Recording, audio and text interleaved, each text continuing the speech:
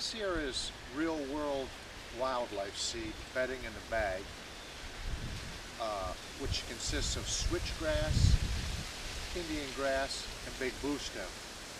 I planted all of the contents in the big in the uh, bedding in the bag, which is the three seeds, back in the spring of 2012. You can see, or you probably can't see real well in, in, in the video, the only seed that came up was the switchgrass. And it's pretty good.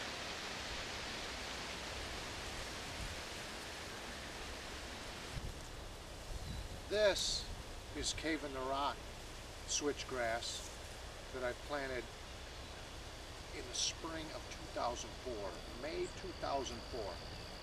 And it responded very well, in fact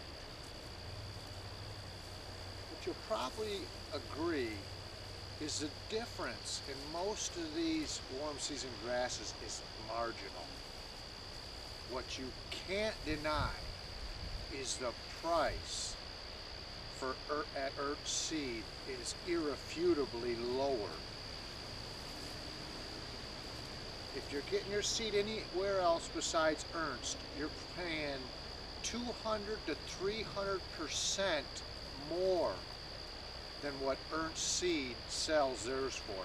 So I just wanted to pass on that little trade secret. See how these uh, wildlife seed distributors come back with that as they always seem to care so much about the consumer. Why is their price so much higher than Ernst Seed? Y'all have a great hunting season this year.